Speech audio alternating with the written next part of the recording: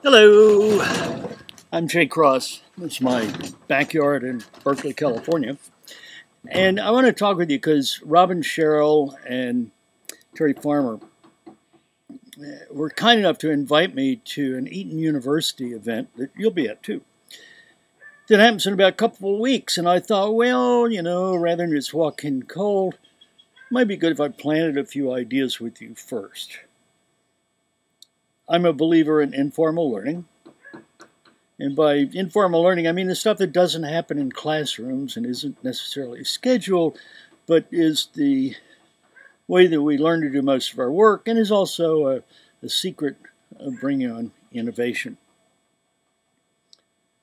I've written a book on the topic, but I don't really want to talk about the book because it, it's it's a bit formal. You know, I think there's sort of several types of learning. There's uh, stuff that happens in classrooms and workshops and books and whatever, and that's great if you're brand new to a field and you need sort of a, a grounding. You need to talk the talk. You need to know some of the basics. But you know, after you've got experience under your belt and have sort of a, a tapestry, a mental framework for dealing with things, that's boring as hell. I mean, you're not going to listen at all what you want to do is have the opportunity to sort of fill the holes in the mental tapestry, to find out what you need to know. And that means uh, making it easier to locate expert knowledge and making it like culturally okay to go and talk with people about things, to uh, encourage use of visual since it's often easier to understand visual information than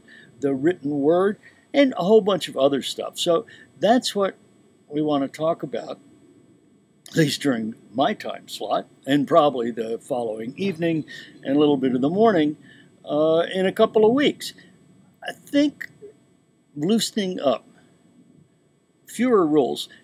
There's a Dutch traffic engineer named Hans Monderman.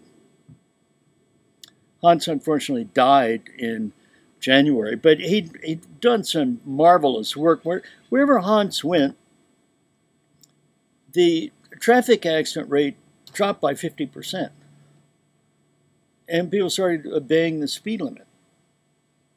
And unlike most traffic engineers, he didn't come in and put new signs and signals. No, he took them away. He ripped that stuff down because he realized that if we rely on signs, we stop relying on judgment. Not a good idea. Because people cease to be adults, members of the community, and they become drivers.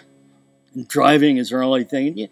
If you're like me, when you see a sign out on the highway and it goes, hey, curve ahead, you know, 35, that means better not go over 50.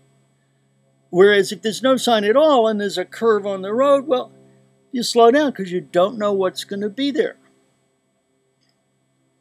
Now, I tell you this because I, when I hear the term trainees, it's like drivers. I mean, it's as if we need signposts, and you tell somebody they're a trainee or even a learner, and they're going to flip the switch off. They're no longer going to be smart people. I mean, what we're about is helping people be more productive in their work, helping them have a more fulfilling job, working with others, having a good time for them, having a good time for Eaton.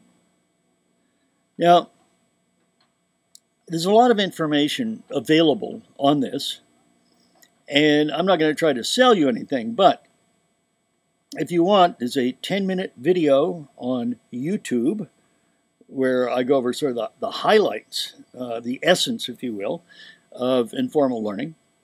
And I've also put a number of chapters from my books, papers, articles, presentations, etc., up on the web. And sort of the doorway to all of this stuff is my website, jaycross, J-A-Y-C-R-O-S-S dot com. And I'd encourage you to spend oh, 15 minutes or more looking at that before we get together because I think it'll make a more fulfilling experience for you. That said, I'm really looking forward to joining you and chatting in a couple of weeks. Uh, Eaton's doing some marvelous things. And frankly, it excites me a lot more than the, the sort of the banks and service companies that uh, are sort of my, my stock in trade these days. So, see you in a couple of weeks. And here, I'll let you look at the redwood trees in the backyard one more time.